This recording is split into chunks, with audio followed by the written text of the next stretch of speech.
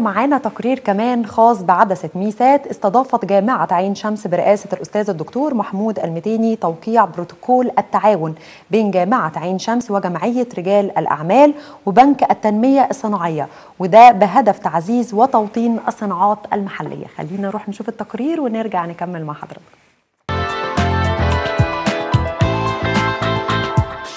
بروتوكول ثلاثي ما بين بمبادرة كريمة من جمعية رجال الاعمال المصريه جمعية عريقة جدا فيها كبار رجال الاعمال في مصر.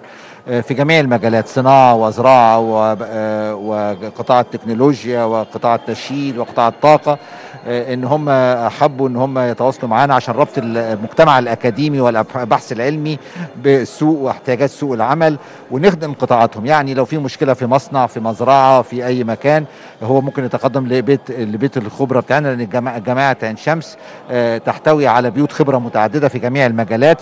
فيقول لنا المشكلة اللي عنده إيه؟ القطاع المعني عندنا وبيت بيت الخبرة المعني يبحثها ويديله الحلول كلها وده تكامل مهم جدا. الحاجة الثانية تدريب شباب الخريجين وتدريب الطلبة نفسهم في مصانع وفي مصانعهم وفي مزارعهم وفي مؤسساتهم.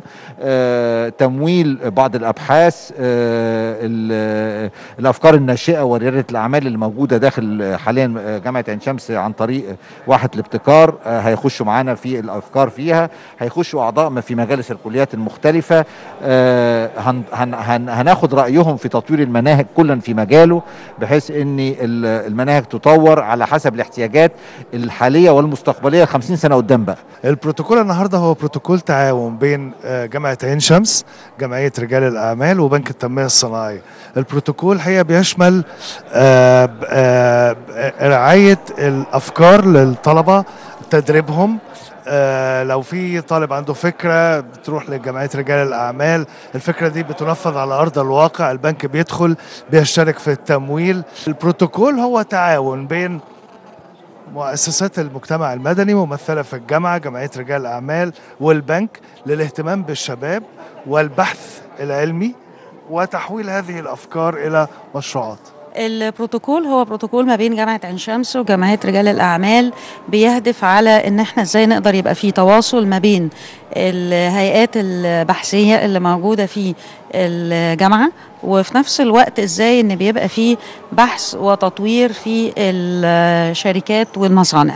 وده بيأهل إن أنا النهارده الطلبة بدل ما هم ما بيبتدوا يشتغلوا على مشاريع افتراضية لا بنقدر إن إحنا نشوف فعلا إيه المشاريع اللي هي والمشاكل اللي موجودة عندي في المصانع وفي الشركات آه ويبتدوا إن هم يشتغلوا عليها.